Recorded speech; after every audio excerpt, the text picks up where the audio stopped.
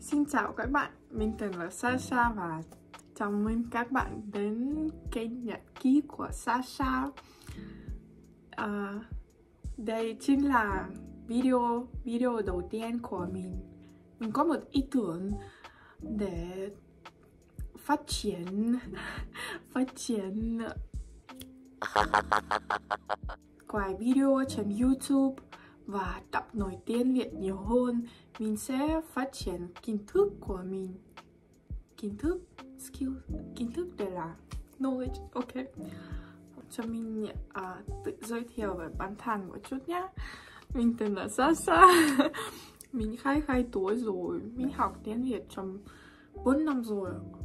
Mình đang học ngành Việt Nam học ở Bản Nga. Mình vừa quay lại từ Việt Nam mình rất nhớ Việt Nam rồi. Đã ở Vladivostok.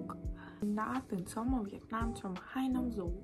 Lúc khi mình đã đi quay lại Nga thì mình đã đi bay qua Irkutsk và sau đó uh, bay đến uh, Vladivostok. Mỗi lúc mình đến Irkutsk mình quá quá bất ngờ. Tại sao?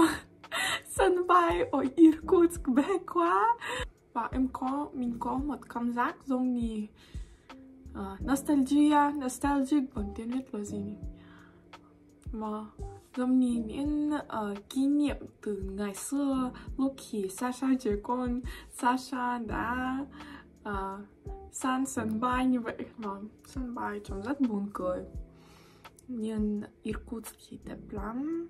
Dağzi, Dizuli or Irkutsk, nó Vladivostok cũng đẹp. Mình rất thích cuộc sống ở Việt Nam, nhưng ở Nga mình cũng rất thích vì ở Nga yên tĩnh hơn và rất văn người. Cho các bạn xem có bao nhiêu người. Một, hai, hết rồi. Vâng, Sasha đi học rồi đấy. walk around die mua monan không biết nữa monan hoặc là đi học monan đi học monan monan